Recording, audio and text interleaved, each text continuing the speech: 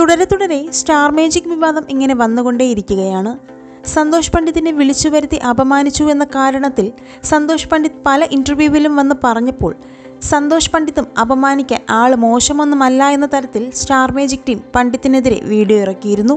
എന്നാൽ ഇപ്പോൾ കാര്യങ്ങളൊന്നും തണുത്തു വരുന്ന സാഹചര്യത്തിലാണ് സ്റ്റാർ മേജിക് പ്രൊമോ വീഡിയോയിൽ ബിനു അടിമാലി സന്തോഷ് പണ്ഡിത്തിനെ പൊങ്കാലയിടുന്ന തരത്തിൽ ഒരു ഡയലോഗ് വെച്ച് കാച്ചിയത്.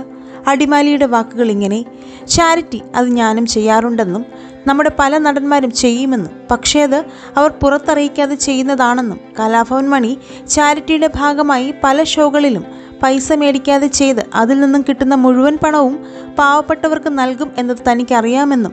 എന്നാൽ ചിലർ ഒരു ഗതിയുമില്ലാത്തവർ മുന്നിൽ വന്ന് സഹായം ചോദിക്കുമ്പോൾ ചെയ്തിട്ട് അത് വീഡിയോ ആക്കി പുറത്ത് ചെയ്യുന്നതിനെ ചാരിറ്റി എന്നല്ല പറയുന്നത്. അതിനെ ബിസിനസ് എന്നാണ് പറയുന്നതെന്ന് ബിനു അടിമാലിയുടെ വാക്കുകൾ ശരിക്കും സന്തോഷ് പണ്ഡിതിനെ കുറിച്ച് തന്നെയാണ് പറഞ്ഞതെന്നും എല്ലാവർക്കും മനസ്സിലാകും.